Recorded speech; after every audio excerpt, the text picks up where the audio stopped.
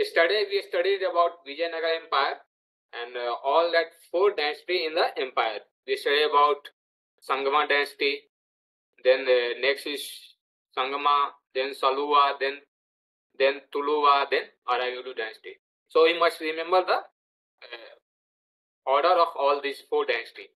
They they might ask for arranging. Okay. Now we will see architecture administration. We had a study in, in that. Okay, administration we know to say everything. One little bit that they issued gold coins called varahas. So if questions comes that what is varahas or pagodas, that is gold coins. So you must know this these terms and silver tar was known as silver coin and jital was copper coin. So so these these three you must know about these three. Okay.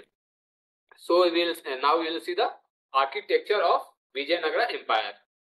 See, nothing is of that much importance, but in this say, they uh, important temples were built, and you must remember where are these temples at which place. So Vithal Swami and Hajar Rama temple is at Hampi. Then Tadapatri Parvati temples both are at Chitambram and Varada Raja and Ekambanath temples is at Kanchipuram. I think so we say this one also. So okay, uh, study about where where are these temples. So in static questions they might ask. So while preparing for AFCAT exam, you all want to prepare all this uh, dance, uh, state and dance, and also study about music and who are all these uh, followers of that music. So study about these two because out of these two, one question is confirmed. They used to ask in all shift. So study about this. If you are not having any PDF or anything, tell me. I'll share that one about dance and music. So now we will study about Bahmani kingdom. Bahmani kingdom in that one you must remember that who was the founder of Bahmani kingdom and what was his capital. So Alauddin Hassan Bahman Shah.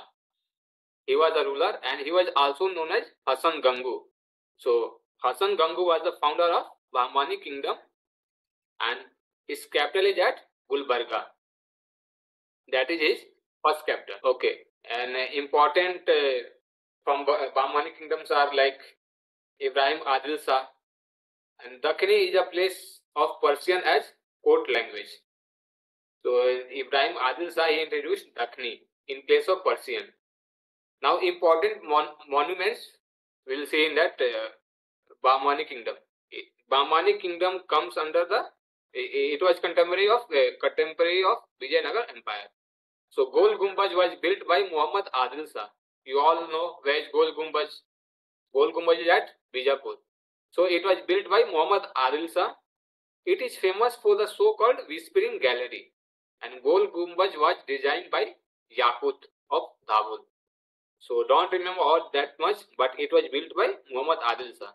Then Kuli Qutub Shah built the famous called Golconda Fort and also he was the greatest ruler of Qutub Shahi dynasty and he founded the city of Hyderabad.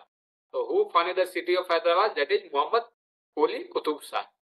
Hyderabad uh, origin uh, it was known as Bhagyanagar and he also built the Charminar which is at in Hyderabad. Okay, now we finished in all this. So from now we will study about religious movements. In that Bhakti movement and Sufi movement will be there. Then we'll discuss about Mughal Empire. Then our medieval history will finish. And I in the end of the slide I have uh, mentioned some important questions from Mughal Empire. So study all that and in that uh, there will be no option, there, there are no options in that questions, only answers are given. So study that question answers because uh, then uh, you can get through and you all be clear to, uh, you will all, you all will have clear understanding of Mughal Empire. So now we will start about the Bhakti movement.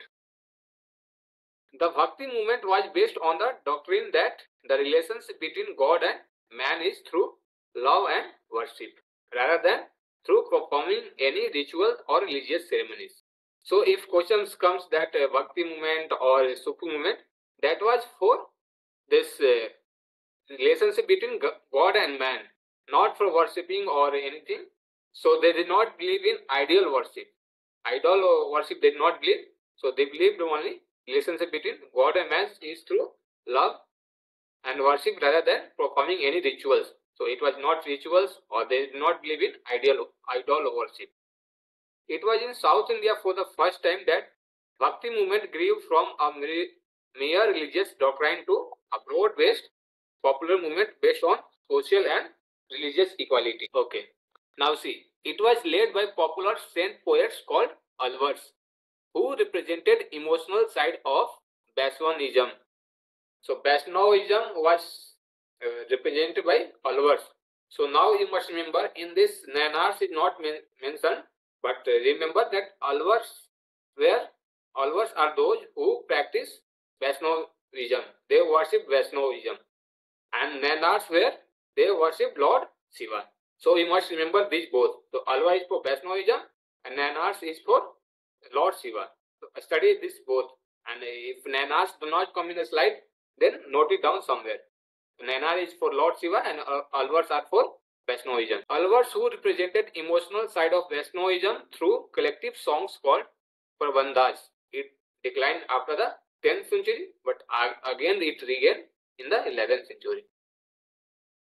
But it was derived as a philosophical and ideological movement by Acharyas. So again after it, it was revived by Acharyas, who represented the intellectual side of Vaishnavism in the 11th century. So most important among them was Ramanuja, whose disciple Ram, Ramananda took it to North India.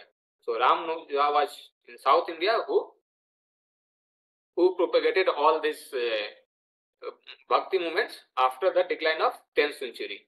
But uh, in North India, it was brought by Ramananda, disciple of Ramanuja.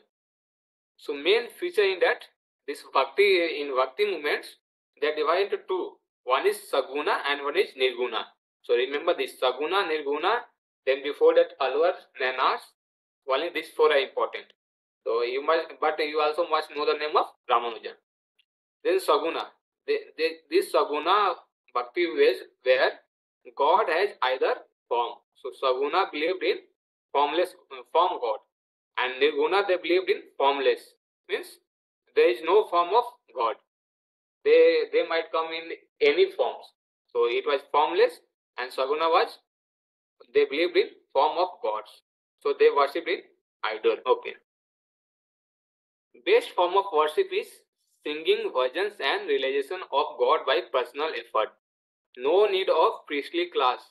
So best form they believed in that is bhajanas and realization of God. And during that many philosophy were there. So remember about this one. Vishisht Devata was by Ramanuja Acharya. So only this one is important. Vishisht Vishisht Adivata was by Ramanuja Acharya. Okay. Now we will see the Bhakti saints. Important Bhakti saints who are well important. Okay. So first is Ramanuja. Already we had seen who brought, who again gained the propagated the Bhakti movements in 11th century. So now first one is Ramanuja. Only you know the name. No need to study all these everything inside this one. So know the name Ramanuja. Then Ramananda who who took it to North India. So you must remember who took to North India that is Ramananda. Then Kabir, the most radical disciple of Ramananda who was opposed to caste, creed, image, worship, unnecessary rituals and sought to remove distinction between Hindus and Muslims and believed in social unity. So who believed in Hindus and Muslim social unity? That is Kabir. Then now we will study about Guru Nanak. Guru, Guru Nanak was a Nirguna Bhakti saint. All these were Saguna that means form is there, God form is there, and Guru, Guru Nanak Nirguna Bhakti saint, he believed that God is formless. It has no form. And he was the founder of Sikhism. Then, okay, Chaitanya, is also of Bhakti saints. He he was the founder of Gaudiya or Bengal Vaishnavism. Then then next is Vidyapati. We had seen his book in authors and book. In that he wrote Padavali with in which Radha Krishna love is mention okay just go through the name everything are not important in this Ramanuja Ramananda Guru Nanak and Vidyapati is important then in this Meerabai Vallabhacharya Surdas Tulsidas and Shankaradeva so Meerabai will know about because he was the only women in that bhakti movement The most well-known women Bhakti saint of the Krishna cult of Vaishnavism. So about this one question has come that Mirabai followed which cult? So she was of Krishna cult of Vaishnavism. Then Ballavacharya, he he propounded the philosophy of Pushti Marg. And then next is Surdas. He was a blind poet of Agra. So if question comes that who was the blind poet in Bhakti movements, that is Suryadas, Surdas. And he also sang the glory of Krishna in his Sur Sagar. So Sur Sagar was written by Surdas in which he sang the glory of Krishna. Then next is Tulsidas, the greatest saint poet of the Ram Bhakti cult. So Ram Bhakti cult of Vaishnavism is Tulsidas and Krishna Bhakti cult is Mirabai and Suryadas. Tulsidas also wrote Ramcharitmanas, Kavitavali and Gitavali. So these three books you must remember. Ramcharitmanas, Kavitavali and Gitavali. Then next is Shankara Deva the founder of Vaishnava revolutional movement in Assam so this question have come in CDS that who are the founder of Vaishnava revolutional movement in Assam that is Shankara Deva in Assam it is Shankara Deva so remember this one then now will study about Dadu Dayal he was also nirguna saint and remember about Guru Nanak he was also nirguna saint Guru Okay, see, he was also a Nirguna saint. So you must remember these two names. Okay, we study about this one. Okay, now remember Dadu Dayal. He, he was the founder of Dadu Panth. Then Tyag Raja, a Telugu saint who spent his life in Tamil Nadu. He adorned God in the form of Rama the incarnation of Vishnu and hero of Valmiki's Ramayana. So he also believed in Rama avatar, Tyagaraja. Then all these were from mostly from South India and one from North India who propounded the, the Bhakti movement in North India and one is for Assam that we have seen here. Assam, here, here it is some Sankradeva. Remember all this? Only the names you must remember. Then Bhakti saints of Maharashtra in Maharashtra also Bhakti movement was going on. So Gyaneswara or Gyanadeva, the fountain head of Bhakti movement in Maharashtra, wrote a long commentary on the Bhagavad Gita called Bhavat Dipka. He also wrote the commentary on Bhagavad Gita called Bhavat Dipka and more commonly known as Gyaneswari. The next is Namdeva. Remember what Namdeva, it has come in CDS, not in AFCAT. So a contemporary of Gyaneshwara, he was a tailor by caste and was opposed to all caste distinctions. Why he is important? Because he was tailor by caste.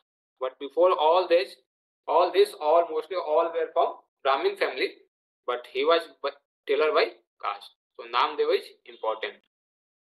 The object of his devotion was Vithoba or Vithal, identified with Vishnu of Pandharpur. The cult of Vithoba or Vithal known as Varkari. So this is not important, but Pandharpur is important and Vithova. Remember about the name of Vithova. And he was tailor by Kash, Namdeva. Okay. Eknath, he wrote, who wrote a commentary on the Ramayana called the Bhagavad Ramayana. So don't remember all this, only remember Eknath name. He was also from Bhakti movement, he was from Maharashtra. So remember who all were from Maharashtra. Then Tukaram, who who wrote Abhangas? Poem Abhangas. So Tukaram wrote Abhangas. So remember this one. Then next is Ramdas. And this Dasa Bodha is the compilation of compilation of his writings and sermons.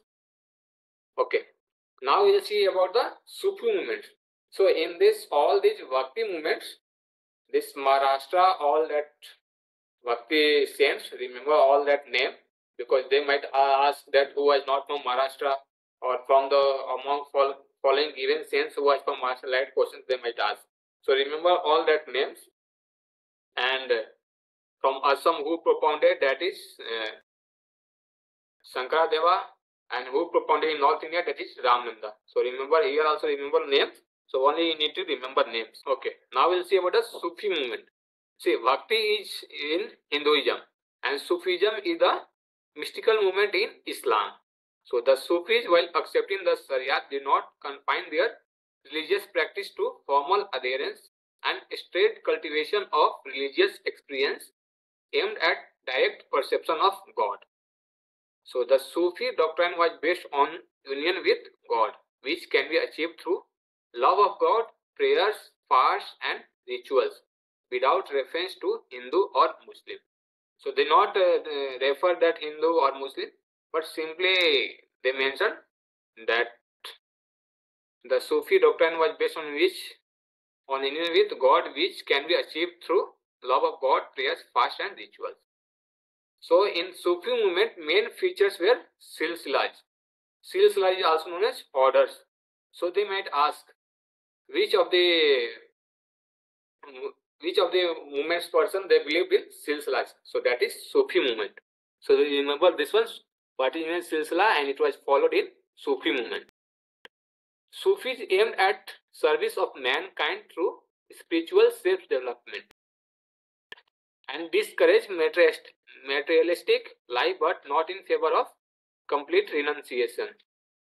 Then remember all these Sufi saints name and all Sufi saints name. See, in Bhakti movements also all names are important and only some are having one or two points. In Sufi saints also saints are important, all saints and in that also they also have some points because they have done some extra work. So first one is Khwaja Ali Hujwiri, also known as Data Ganj Baks. The author of the celebrated manual of Sufism entitled Kasaf ul Majho. So don't remember this one. So only remember the name Khwaja al Hujwiri. Then Sheikh Bahauddin Zakaria, the founder of Suharwardi order. So remember, eh, not in AFCAT but in CDS, they might ask about this order. That is Silsila. Suharwardi Silsila. So among among the following, who followed the Suharwardi Silsila of Sufi? So one is okay. Sorry guys, actually light went off and laptop was not charged, so that's why there were some issues. Okay, where uh, we were studying about the Sheikh Bahauddin Zakaria. So he followed the Suhara Suharawardi Silsilas, also known as order, who founded the first leading Khanka in India at Multan. So remember who followed Suharawardi Silsila that is Sheikh Bahauddin Zakaria. Okay. Next we will see Khwaja Muhyiddin Chishti, the founder of Chishti Silsila. So there were many silsilas. So in that one Chishti Silsila, and in the previous slide we had seen about the we had seen about this one Suharawadi Silsila. So Suharawadi Silsila was followed by Sheikh Bahauddin Zakaria and Chishti Silsila was followed by Khwaja Muhyiddin Chishti and Sheikh Hamid Hamiduddin Nagauri, who all followed the Chishti Silsila, their names are given. Sheikh Hamuddin Nagauri, Khwaja Qutbuddin Bakhtiyar Kaki. Remember this name. On his name only, Qutbu Minar is built. So remember this name. And he was the contemporary of Qutbuddin Aibak. Then Baba Farauddin Ganj Ais Sakar, who, also, who was also known as Baba Farid then Sheikh Nizamuddin Aulia, Sheikh Nasuddin Muhammad. Remember this name. Then Baba Baba Farid name. Then Khwaja Bakhtiyar Kaki and Sheikh Humuddin Nagauri. All these they followed Chishti Silsila. So remember these names. They might be person they might ask this that they followed. Okay. Now we'll see about the some other Sufi saints. Sheikh Badruddin Samarkandi founded Firdausi order. So now you can see Silsila, that Silsila also known as order. We had seen Suara Vardin Silsila, Chishti Silsila. Now here it comes the name of Firdausi Silsila, Firdausi order. तो Sheikh Bahaduruddin Samarkandi follow the silsila. Then Shah Namatullah Qadri and Shah Abdullah तुतारी। दे follow the Qadiriya silsila.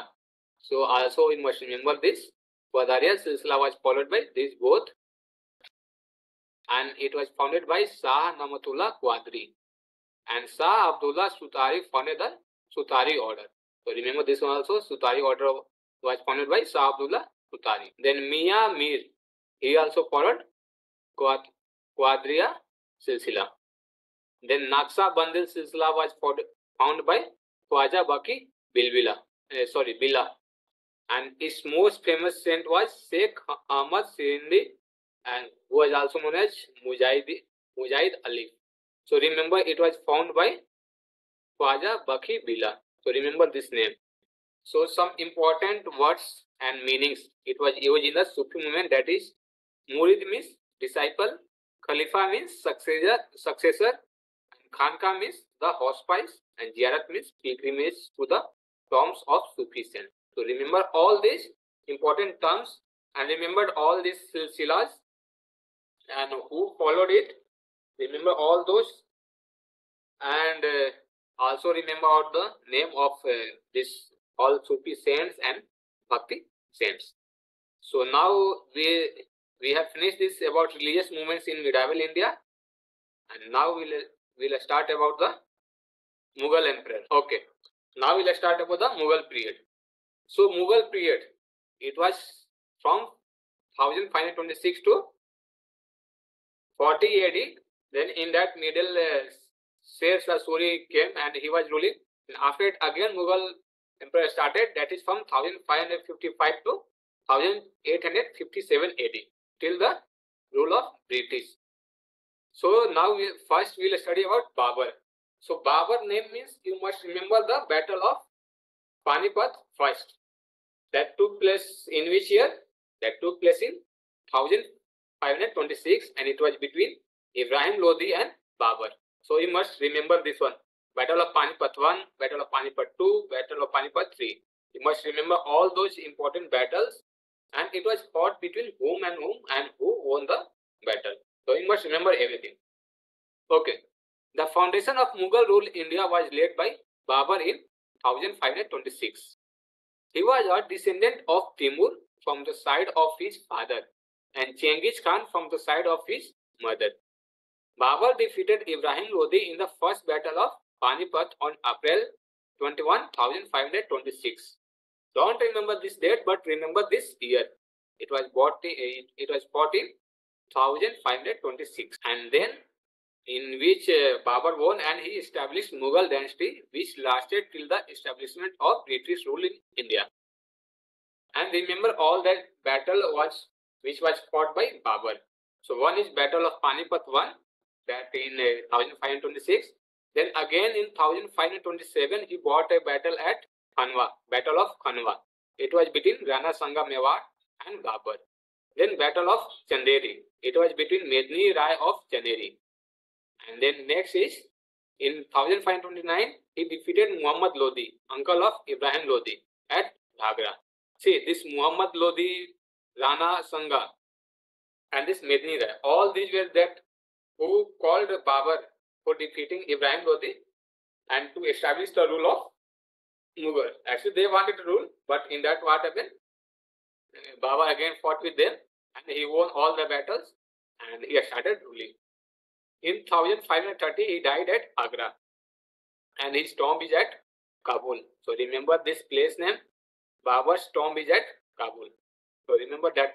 Remember all that Mughal emperors and their tombs is uh, if it comes in the slides. So remember that uh, at which place their tombs is located. He adopted Tugluma, the flank party system and was the part to use gunpowder and artillery in India.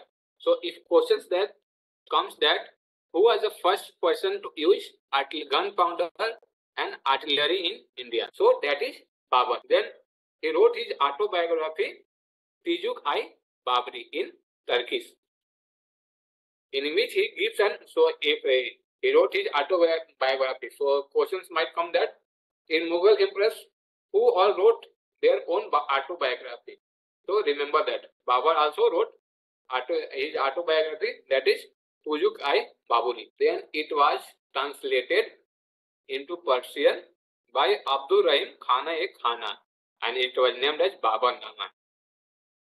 So Babar Nama was written by Abdul Rahim Khane Khana and it was the translation of Tujuk-i Babri into Persian language.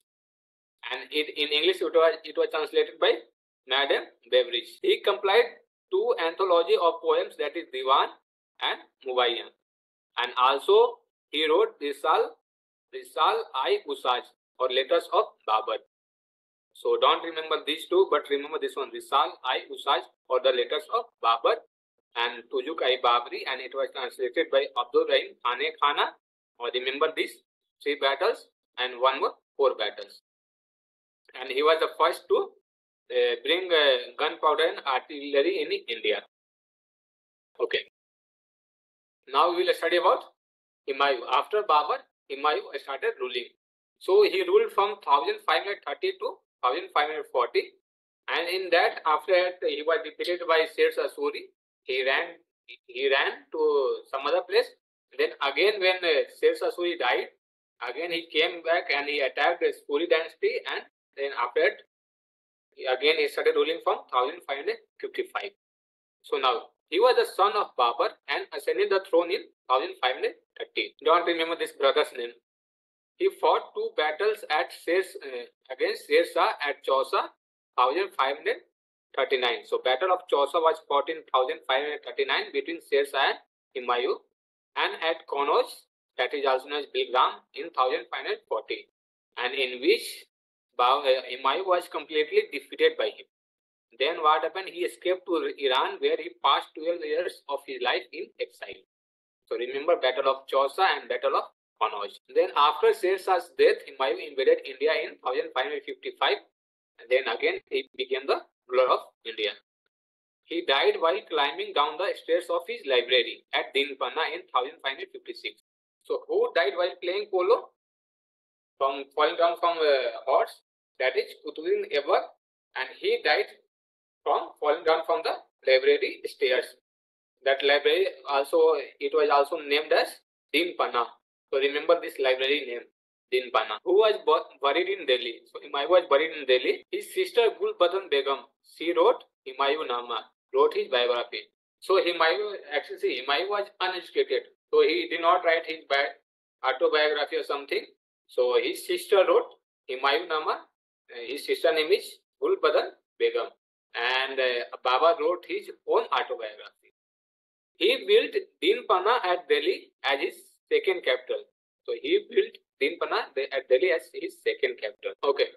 Now we will study about Sher Asuri because uh, after defeating in the battle of uh, Chausa and battle of Kannauj, Sher Asuri got to rule in the India and he started ruling from 1540 and he ruled till 1545. He was the son of Hassan Khan, the Jagirdar of Sasaram. Ibrahim Lodi transferred his father's Jagir to him. So he was the son of Hassan Khan. Don't remember this one, but he started ruling from 1540. Okay. Now we'll study about Sher Shah. He defeated Humayun in the battle of Chausa and assumed the title of Sher Shah. Actually, his full name, only name was what was his name? Sorry, his name is not given. So remember, only Sher Shah Suri. His full name was Sher Shah Suri. In that Sher Shah, he got title in the battle of Chausa and in 1540 he defeated Humayun in the battle of Kannauj. So remember these two battles. Then he died in 1545 while conquering Kalinjar. See, in Sher Suri era what happened? He went to conquer the Kalinjar. In that what happened? Uh, that uh, by the missile, he, by his own missile, he, he had done. Like you can say that it was a suicide of uh, that Sher Suri dynasty. So he was killed by his own mistake. So he doing in a, while conquering Kalinjar, he died in 1545. And during his brief reign, he brought he introduced a brilliant administration, land revenue policy, and several several other measures to improve the economic condition of his subjects. So that GT road in India, that is the uh, that is a gift given to India by Sher Suri. He issued the coin called rupiah. So first time coin rupiah was started by Sher Suri and fixed the standard weight, weights and measures all over the empire. Then see, he also improved the communications by building several highways. He built the Grand Trunk Road GT road that runs from Kolkata to Peshawar. Sorry guys, there is some issues with laptop. Okay. We are we were seeing about Grand Trunk Road. Grand Trunk Road that was built by Shershah Suri. Then he introduced the principle of local responsibility for local crimes and mukaddams were punished for failure to find the culprits. Then he built Purana Kila at Delhi. So you must remember he built Purana Kila at Delhi. And all okay. And land was measured and uh, one by third of the average was fixed as a land tax. So remember our Grand Trunk Road, Rupia, what Purana Kila, and about land tax. Okay, okay. About sales or sorry, one this much is there. So you must remember all these facts about it. Also remember this coin called Rupia is most important. Then now we will study about the Akbar. Akbar, the eldest son of Humayun, ascended the throne under the title of Jalaluddin Muhammad Akbar Badshah Ghazi at the young age of 14 at Kalanaur, Punjab, and his tutor Behram Khan was appointed as the regent. Regent means he was the highest this soldier, highest rank soldier in the Akbar's court. So he was uh, since this uh, Akbar was of uh, like in child age. So Behram Khan was he was actually he was guiding Akbar to rule rule the Mughal dynasty. So in the second battle of Panipat, so second battle of Panipat was fought during the rule of Akbar. It was fought between Hemu, the Hindu general of Muhammad Adil Shah, and Behram Khan, the regent of Akbar. So it was fought between Behram Khan and Hemu, in which Hemu was defeated. So in this, in its this Akbar, the Rajputa kingdom of Mewar put an fierce defense under the Rana Uday Singh and his son Rana Pratap. But after that, what he wanted to rule all over India. So Akbar tried to win over the Rajputas wherever possible and inducted Rajputa kings into Mughal service and treat them at a par with Mughal nobility. But uh, so for that, what he has done, he married Harkabai. So one wife name was Harkabai, daughter of Bharmal or Bihari Mal, who was the ruler of Kachwala Rajputa kingdom.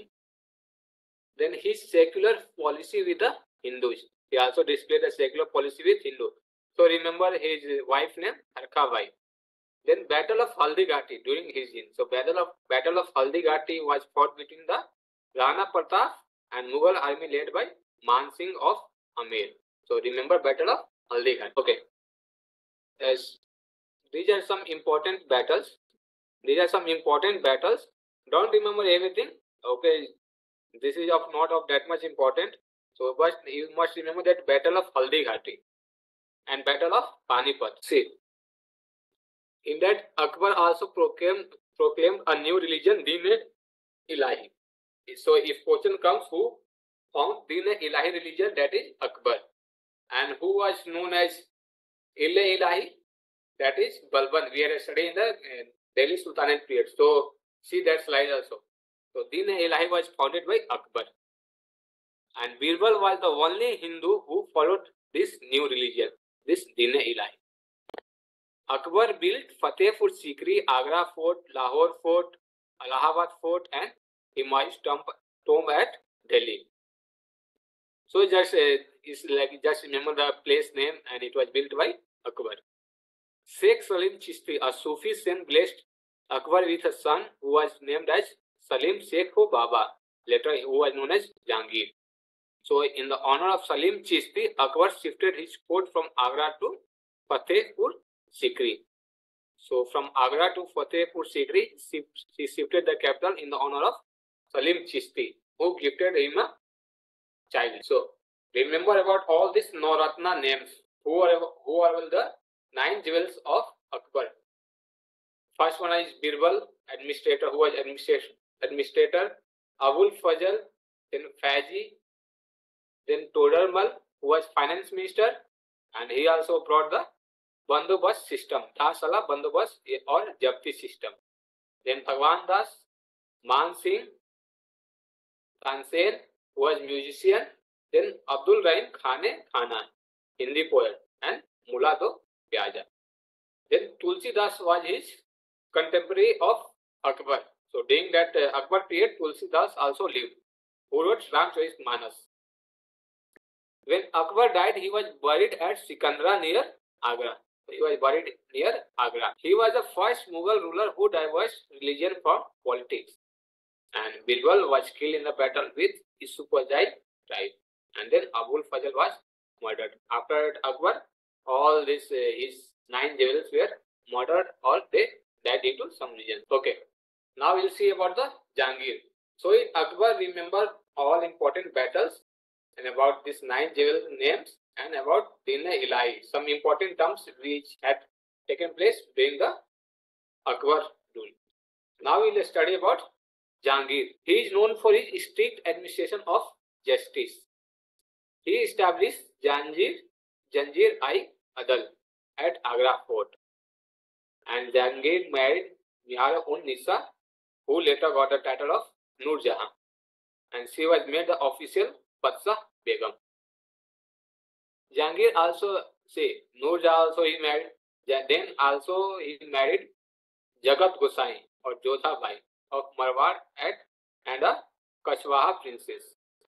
And then during it was during his reign that uh, England Britishers started getting permission to come to India and trade in India. So uh, first Britishers to come in India was during the Jangir and Captain before that Captain William Hawkins came and he wanted to ask permission. So he came to Jangir court. So then he was given the mansab. Then after this Jangir denied. But after it again, Sir Thomas Roy, he came and then he was given the permission to trade in India. Then after that, they started doing trading. Then after slowly they started occupying all the places. So remember this Captain William Hawkins and Sir Thomas Roy came, came in India during the rule of Jangir. Okay, let's see here. He granted permission to the English to establish a trading port at Surat. Okay, his reign was marked by several revolts. His son Khusro, who received patronage of uh, patronage of fifth Sikh Guru Guru Arjun Dev, revolted. Oh, he was pat patronage for of Guru Arjun Dev, and he started revolting against his own father Jangir. Then Arjun Dev was later sentenced to death for his blessing to the rebel prince.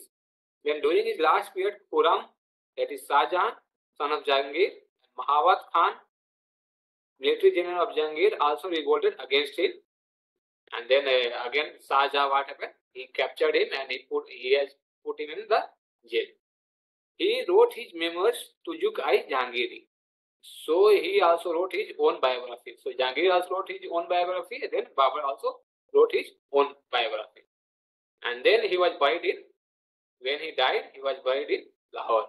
So remember that he was buried in Lahore. Then now we'll study about Shah Jahan.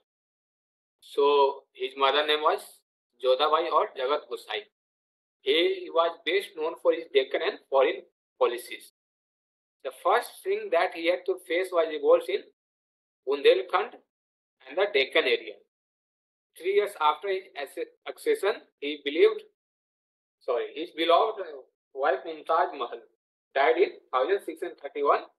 Then to perpetuate her memory, he built the Taj Mahal at Agra. Then during his reign, many other princes also accepted his suzerainty. That is one is Sultanate of Bijapur and Golconda and Nizam Shahi dynasty of Ahmadnagar. Okay. Now this is important. During his reign, French tra traveler Bernier and Tavernier visited and Itali Italian traveler Niccolo Manucci and Peter Mundy they also visited uh, which court. So during his reign only they came to India. So remember all the we have seen in the slides. So remember that one. And he is known for the promotion of art, culture, and architecture. So if question comes, who is known for promotion of art, culture, and architecture from Mughal Empire? That is Shahjahan. And he built the Red Fort, Jama Masjid, Taj Mahal. All these was built by Shahjahan. Shahjahan was imprisoned by his own son Aurangzeb. See, tit for tat. Jahangir was imprisoned by Shahjahan. Shahjahan was imprisoned by Aurangzeb in the Agra fort, where he died in the captivity in 1666. and he was buried at Taj Mahal, Agra. Now here Aurangzeb will study about Aurangzeb. So Aurangzeb defeated Dara at Dharmat. Aurangzeb have had brothers. So in that Dara also wanted to rule in India. So he was opposing against him. So Aurangzeb defeated Dara, who was brother of Aurangzeb. Dara in 16, 1658, then Samugad, then Devrai, in which Samugad was the decisive, one and Devrai was the last one. And he also got the title of Alamgir, means ruler of the world. So he got the title of Alamgir. So who was Alamgir? That is Aurangzeb. So remember only this one Alamgir was the was got the title of Alamgir, Aurangzeb. Okay. Now we'll see about his all events happened during the Aurangzeb rule. So Aurangzeb he fought with Shivaji during his period. Ottoman Shivaji rose to the power, and uh, then also in the last he fought with him. Aurangzeb captured Guru Tegh Bahadur, the ninth Guru of Sikhs in 1675. So he captured Guru Tegh Bahadur and executed him when he refused to embrace Islam. So he Guru Tegh Bahadur denied to follow Islam, then Aurangzeb executed him. The tenth and last Sikh Guru, Guru Gobind Singh, son of Guru Tegh Bahadur, organized his followers into community of warriors called Khalsa to fight the Muslim tyranny. In that, Guru Gobind Singh was also assassinated. Then the original name of Banda Bahadur was Lakshman Dev. See, Banda Bahadur, a trusted disciple of Guru Gobind Singh, continued to continue the war against Mughals. You need to remember this one, but remember that Guru Gobind Singh, Guru Tegh Bahadur, all these both were hanged, uh, assassinated by Aurangzeb. And Aurangzeb was the most and uh, sorry last and strongest ruler of Mughal Empire. After that, it started declining. He was also known as Jinda Pir, the living saint. So Alamgir, yeah, Jinda Pir, both were the name of Aurangzeb. And he was buried at Fuldabad or Daulatabad. Then Jajia. See, Akbar banned Jajia and Jajia was again reintroduced during the rule of Aurangzeb. So you must remember that uh, Jajia was banned during the rule of Akbar and again in the rule of uh, Aurangzeb, Jajia was reintroduced. So remember this one.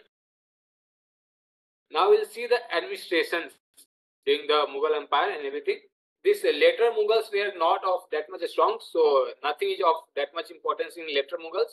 Only you must uh, you must remember about Bahadur Shah II, uh, the last uh, Mughal emperor of uh, India, and that uh, he was sent to jail in Rangoon. So that one you must remember. Others all are not of that much importance. So see, in administration you will see they divided into subas, which we were further divided into Sarkar, Pargana and Gram. So Suba was province, Sarkar was district, Pargana was taluka and Gram was village. And the Mughal Mansab was dual, Jat, that is personal rank and pay status and Sawar number of horsemen to maintain. And remember this one, the term Mansab indicates the rank of his, his holder. And Akbar, who introduced Mansabdari system? That is Akbar. Okay. Now some other important terms we will study during the Mughal Empire rule. See, Da Salah Bandobast or Japti system that was introduced by Todarmal during the rule of Akbar. So remember about Da Salah Bandobast or Japti system. So remember this one. Then Babur also built see architecture. If you see, they built many important architectures in India during their during their timeline. So Baba built two mosques. That is one is at Kabuli Bagh at Panipat and other is at Sambhal in Rohilkhand. So this is not important, but you must know that Babur also built two mosques. Then Himayu tombs was built by his widow Be Bega Begum, also known as Haji Begum. Then uh, building at Fatehpur Sikri, that is Panch Mahal.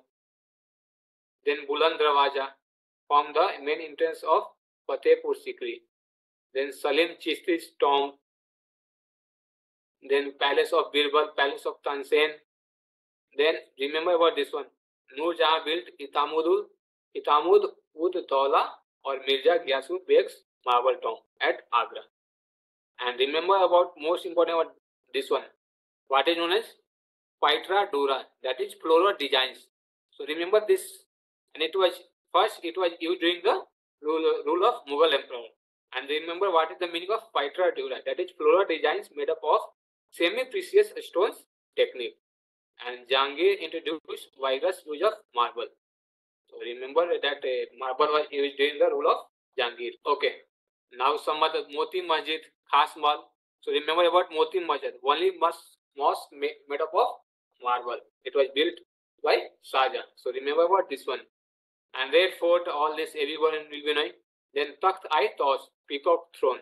It was also built uh, by Shahjahan and Shahjahan also laid the foundation of Shahjahanabad in 1637. Then Bibi ka Maqbara by Aurangzeb. Then famous painters of Jahangir's court were Abdul Hasan, Ustad Mansur and Bishan Das. They were the famous painters. And remember this important autobiography and important books written by the uh, authors during the rule of Mughal emperor. So Tujuk-i Babri, it is the autobiography of Babur then remember what Humayun Nama, that is Gulbadan Begum, who wrote the biography of Humayun. Then Akbar Nama, Abul Fajr. Then Tujuk I Jahangiri, written by Jahangir. Then and I Akbari, written by Abul Fajr. So remember all these names, they are of importance. So eh, now Mughal emperors we have finished.